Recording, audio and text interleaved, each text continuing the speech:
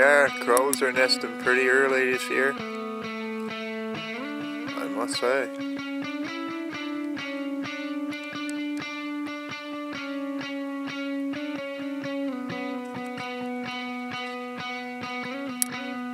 If they got any young yet. Way up there, that's a nice little home they got.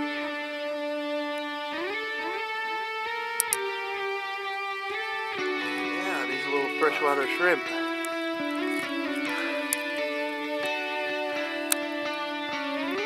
Yeah, uh, yeah. If there is any trout here, they're gonna be hard to catch because uh, I'd say they're well fed. I don't know, a bunch of them come up of this hole.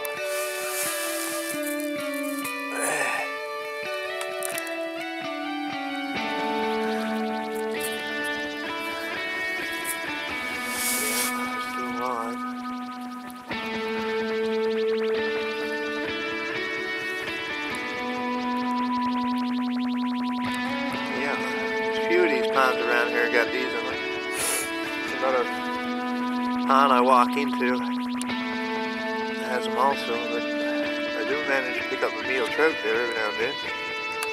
So, uh,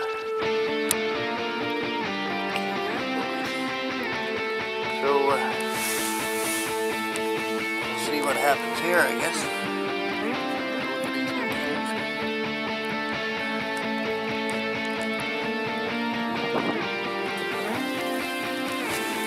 Yeah.